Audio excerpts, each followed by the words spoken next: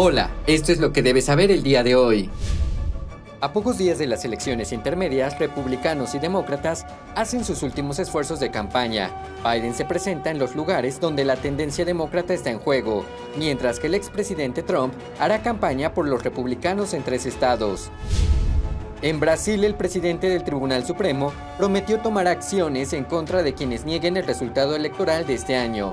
Mientras tanto, las protestas en contra de la elección de Lula continúan. Y tenemos novedades de Brasil que no podemos comentar en YouTube, así que los esperamos en Epoch TV con todos los detalles sin censura. Vayan al enlace que está en la descripción o dé clic en la tarjeta de YouTube. Los esperamos allá.